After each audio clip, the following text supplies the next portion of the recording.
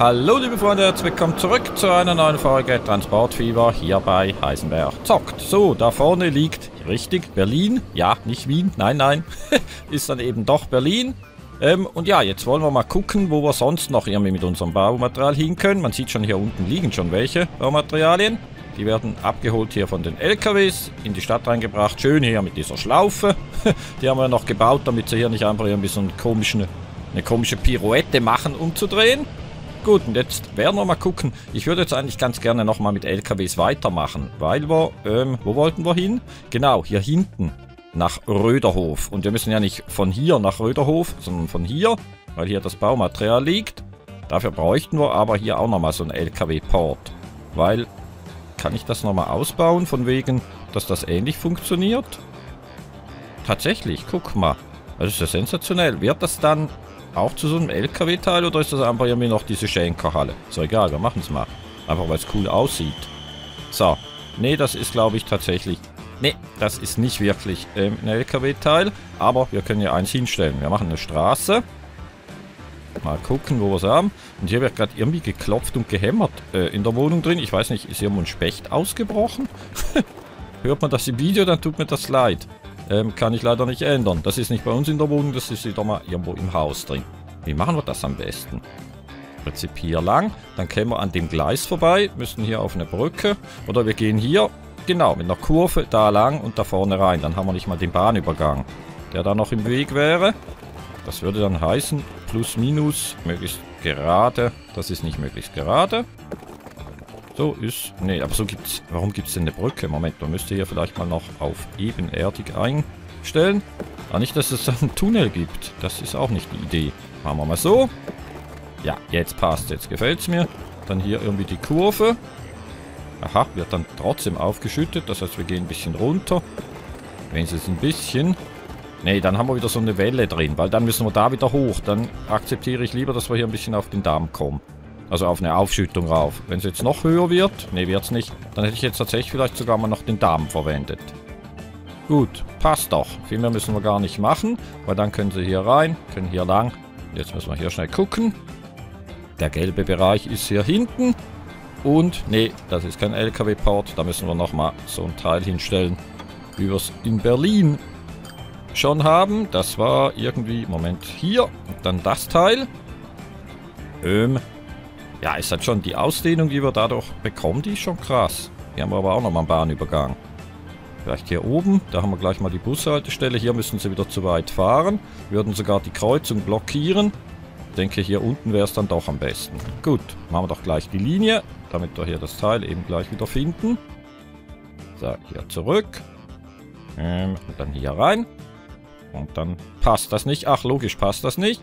Das ist ja dann eben doch nicht ähm, ein LKW-Port, so, sondern wir bauen noch einen. Mich irritiert irgendwie dieses Geklopfe und Geschabe, das ich gerade höre. Weil wieder irgendwo irgendeiner was baut. So. Äh, vielleicht so mit... Ne, da sind wir zu weit weg. Das ist keine gute Idee. Wie viele Linien brauchen wir? Eine würde eigentlich reichen. Historische Lagerhalle mit LKW-Haltestelle. Oh, das ist ja auch nett. Haben wir das schon mal? Nein. Ja, wisst ihr was? Wenn wir das noch nicht haben, dann haben wir sie jetzt. Ist doch ganz einfach. Weil das sieht relativ cool aus. Noch ein bisschen drehen. Zack. Sehr nett. Wusste ich gar nicht, dass wir das haben. Ach, was man nicht alles irgendwie noch findet bei den Mods jeweils. Das ist doch ein sehr schönes Teil. Cool. Machen wir hier zu. Ähm, beziehungsweise machen hier auf. Bräuchten... Habe ich jetzt die Linie noch gar nicht gemacht? Doch, eigentlich schon. Linie, wo bist du hingekommen? Wenn ich hier gucke. Äh, nee. Hä? Moment. Hier oben. Wo ist das Teil hingekommen? Da. Na gut, dann machen wir eben nochmal eine Linie. Ich habe doch eine Linie gemacht und die hat nicht funktioniert. Wo ist die denn jetzt hingekommen? Habe ich hier irgendwas eingestellt? Nein. Egal. Wir machen eine neue. Von hier. So. Zack. Nach hier unten. Jawohl, und dann funktioniert das nämlich auch. Tatsächlich. Irgendwo haben wir noch eine Linie 1. Weil das ist Linie 2. Ich weiß nicht, warum die nicht angezeigt wird. Ich habe hier eingestellt, alle anzeigen. Naja, werden wir gleich wissen. Ist ja egal, auf alle Fälle ist das hier Bau. Material Röderdorf. Sauber, haben wir. Wie finde ich jetzt Linie Nummer 1? Irgendwo müsste die doch sein. Ähm, Moment, machen wir nochmal auf. gehen mal raus. Ähm, ähm, ähm, Irgendwo ist da ja eine Linie 1, da ist sie doch. So, dann löschen wir die nämlich. Zack. Weg mit dir. Und dann hat das alles wieder seine Richtigkeit. Gut. Ein Depot haben wir sicher hier in der Stadt drin. Mit Sicherheit, weil hier verkehren Busse und nicht Straßenbahn. Das hier ist ein Zugdepot. Ähm, wo habt ihr das denn jetzt hingestellt? Habt ihr immer eine Tanke oder sowas in der Richtung? Ach, hier. Da ist es doch. Straßenfahrzeuge kaufen. Güter. Und da könnten wir jetzt eigentlich spezielle LKWs nehmen, denn die transportieren tatsächlich nur Baumaterial. So, der transportiert kein Baumaterial, das ist allerdings schade. Hier, der. Nehmen wir doch den, der fährt dann leer rum, nur hier, wie sagt man dem, die Gondel? Nein. Wir haben die Führerstandskabine und ein Anhängsel, also ein Dingens kriegt er dann, sobald er äh, die Sachen hat. Das Baumaterial und das wird er ja auch bekommen, das wird auch funktionieren. Also machen wir das mal. Wir machen aber nicht automatisch, sondern machen eben Baumaterial. So, wir haben ein paar von denen. Okay, das passt. Linie zuweisen. Baumaterial Röderdorf. Und dann wollen wir uns die natürlich auch noch kurz ansehen hier. Ja, wie gesagt, da ist einmal die Führerstandskabine. Haben wir doch so, glaube ich, auch schon verwendet. Das ist jetzt nicht, dass wir das zum ersten Mal hätten. Da fahren wir jetzt aber mal ausnahmsweise nicht mit. Also wir können ja mal ein Stückchen in der Stadt noch mitfahren, damit wir die Stadt noch ein bisschen sehen. Aber das macht jetzt sonst... Wo gehst du hin? Das macht jetzt sonst nicht viel Sinn. Ach genau, die haben hier natürlich Lebensmittel, haben sie schon. Die bekommen sie hier. Also die haben jetzt Lebensmittel und Baumaterial. Es geht voran. so, mal drehen. Ja, mitten in der Industrie drin. So die rauchenden Schornsteine hier. Nett. Okay, einmal drehen und dann genau hier halten und dann geht's. Ach, da müssen sie halt hier wieder so drehen. Oder sie müssen nicht, sie machen es aber ist auch okay. Man könnte das natürlich mit Wegpunkten noch entsprechend machen, das ist ein bisschen eleganter. Irgendwo da vorne drehen, aber muss ja nicht sein. Da oben noch der TGW, weil das ist halt eben Röderdorf, ist sowieso auch, halt auch ein Städtchen irgendwie. So, einmal schwupp, genau.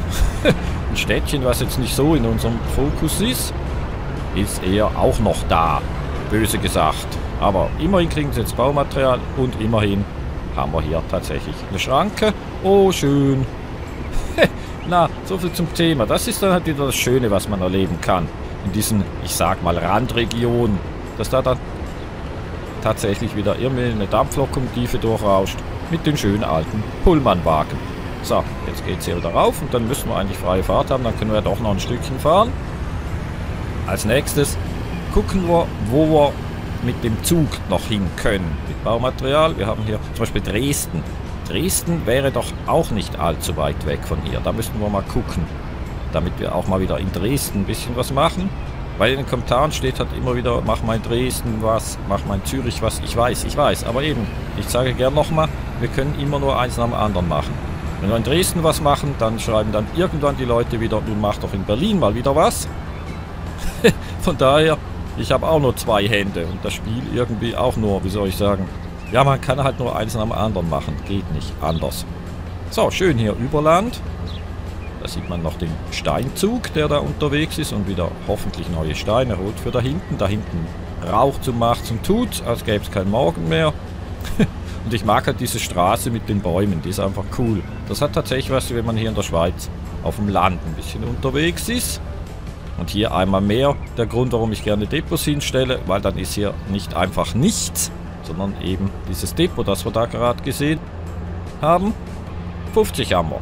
Perfekt, das reicht. Ist ja zwar außerorts, aber wir wissen ja nicht, ob hier nicht vielleicht irgendwann noch ein bisschen Städtchen entsteht und das Ganze ein bisschen zusammenwächst. Deswegen, so, da kommt der Steinzug wieder zurück, beziehungsweise ist, glaube ich, sogar der Kollege. Ne, jetzt haben wir doch die ganze Fahrt gemacht. Wir steigen mal kurz aus.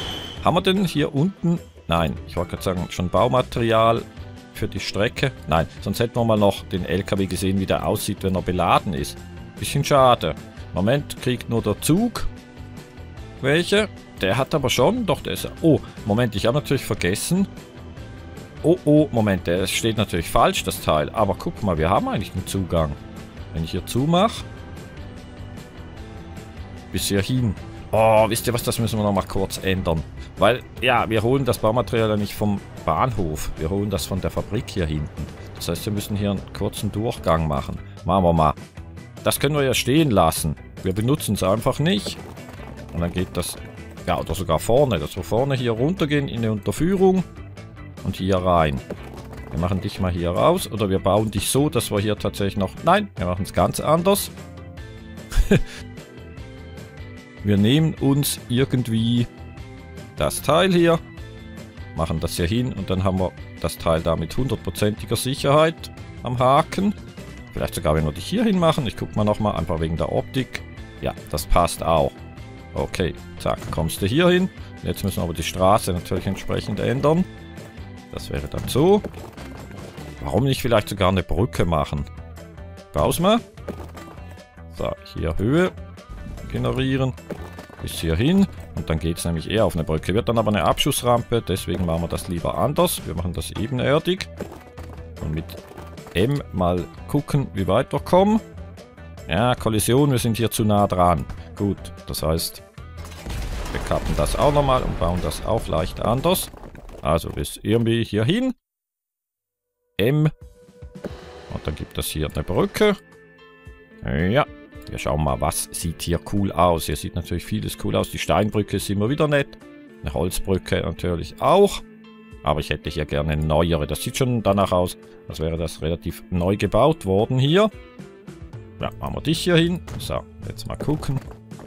Ja, das klappt schon mal prächtig. Moment, machen wir so. Dann müsste man da doch reinkommen. Jawohl, kommen wir auch. wenn wir von hier kommen. Ja, macht es eine kleine Biege. Das ist auch okay. Mach mal die Biege.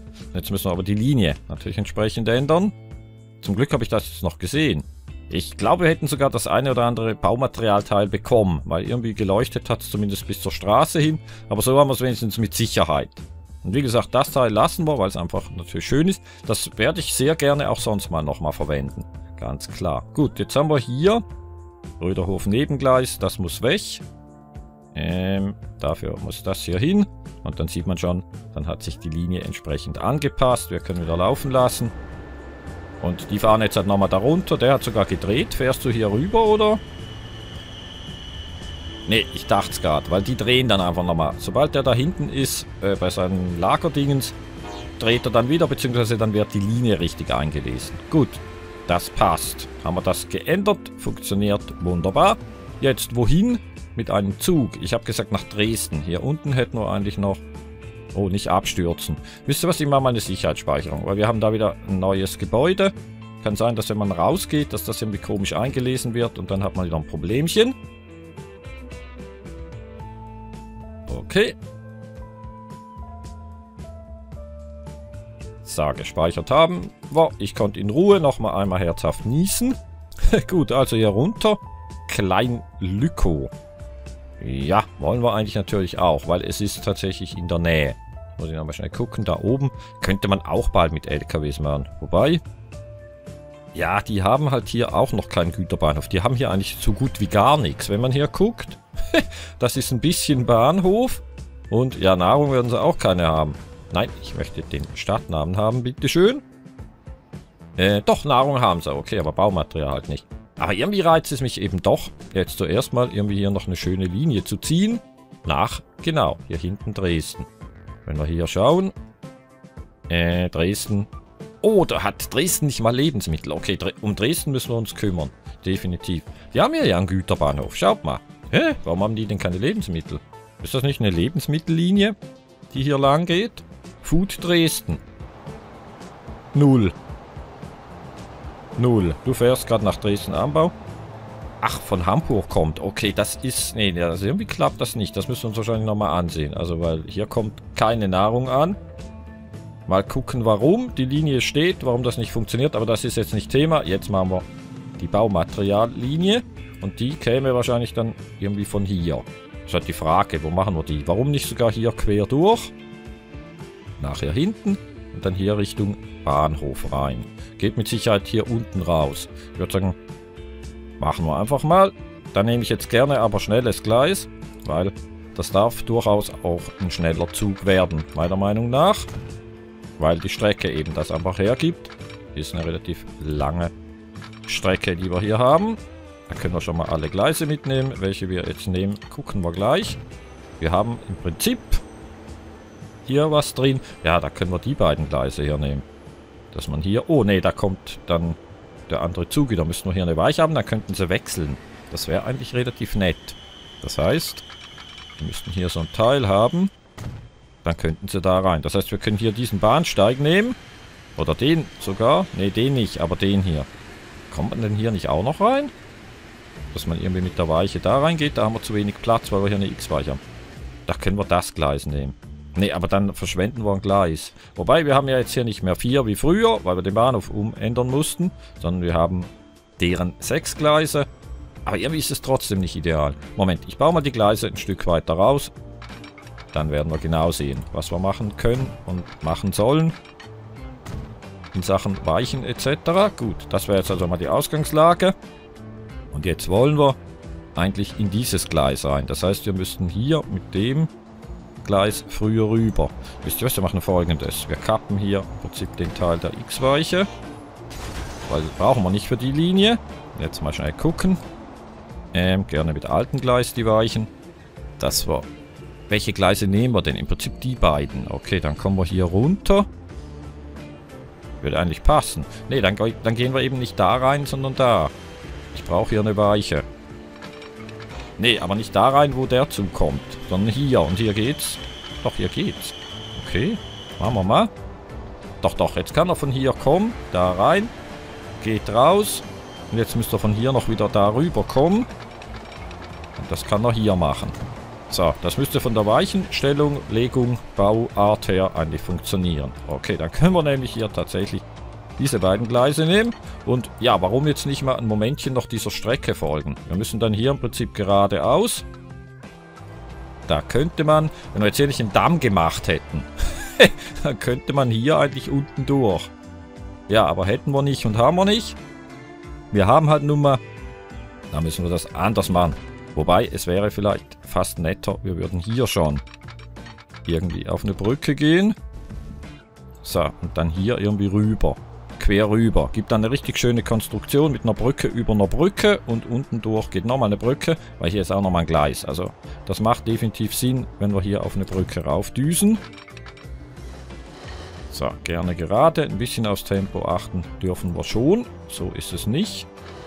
Sagen wir mal, wir bauen das einfach mal. Mal gucken, wie es aussieht.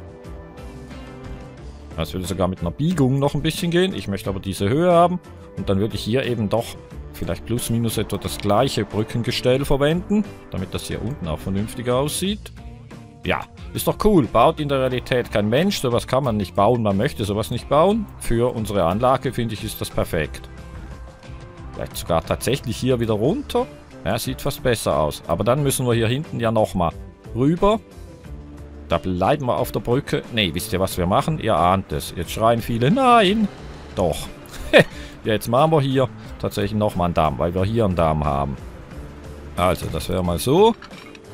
Geht dann bis hier hin. Möglichst mit Tempo. Die Brücke limitiert hier diese, also legt die Geschwindigkeit von 200 fest. Das ist aber in Ordnung. Ist ein Güterzug. Also 200 für den Güterzug ist schnell. Wir haben gar nicht wahrscheinlich solche Wagen, die viel mehr zulassen. Gut, einmal Damm. Damm, Damm. Bis hier hin. Zack, jetzt mal das zweite Gleis noch mitnehmen, bevor das in irgendeiner Form Ärger gibt oder Probleme. Das wärst ja dann du. Ich hoffe, das geht hier vorne. Ja. Oh, und wie das geht, das ist ja wunderbar. Hier werden wir auch noch rüberkommen. Der Damm stellt in aller Regel auch keine großen Probleme dar. So, hier wieder auf die Brücke. Sogar gerne mit ein bisschen Kurve. Ne, wir bleiben auf der Höhe. Und die Ausrichtung stimmt. Wobei, ja, wir brauchen hier eigentlich keine Kurve. Zumindest nicht in die Richtung.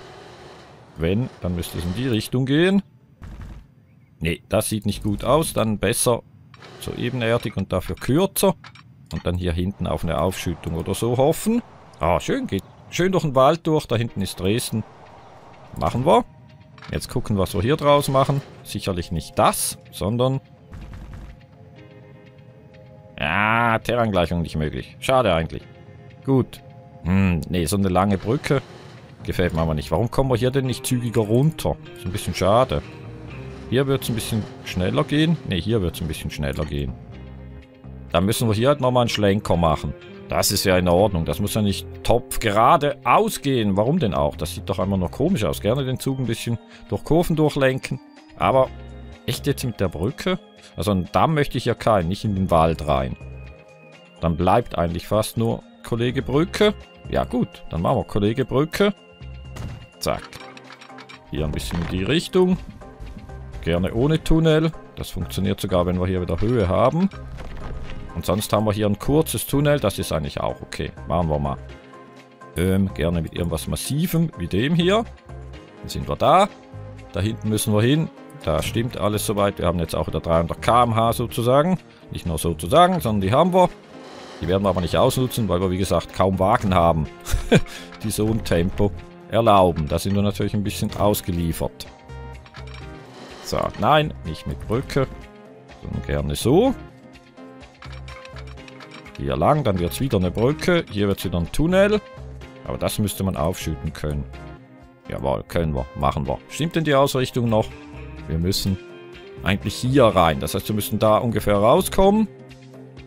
Ja, dann könnte man das Ganze vielleicht sogar noch in die Richtung ein bisschen ziehen. Jetzt muss ich aber aufpassen, dass wir das zweite Gleis noch hinkriegen. Sollte eigentlich schon gehen. Ja, da meint die Fabrik gar nichts dazu. Der Kollege Erz äh. So, passt. Einmal hier an der Erzfabrik. Oder Erzmine, ist ja keine Fabrik. Eine Erzmine vorbei. Und dann geht es hier echt in den Tunnel rein. Ja, es geht in den Tunnel rein. Das können wir sonst gar nicht regulieren. Ist aber okay. Da brauchen wir aber das hier nicht mehr. Dann machen wir so. Machen hier nochmal so ein Portal. Wieder was Fettes. Und hier machen wir dann sozusagen die Kurve da vorne rein. So. Okay, dann hat nämlich Dresden auch mal noch mal ein bisschen was. Wenn sie schon aus irgendeinem Grund keine Nahrung bekommen. Ich weiß tatsächlich nicht, warum nicht, aber ja, es ist halt so. So, das wäre dann so. Muss das ein Tunnel sein? Nein. Wenn wir es so machen, dann haben wir kein Tunnel, dann haben wir so ein Dingens. Da rein. Jetzt müsste es noch das richtige Gleis sein. Das ist es, würde ich mal behaupten.